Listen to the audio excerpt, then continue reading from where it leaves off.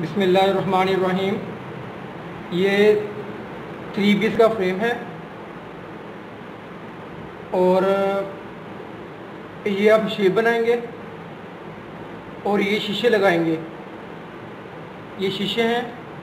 ये शीशा है ब्लू कट में। इसमें रोशनी क्रॉस नहीं होती। क्वालिटी इसकी बहुत ज़बरदस्त क्वालिटी में शीशे ये। और ये शीशा है ब्लू कट में। ये देखें।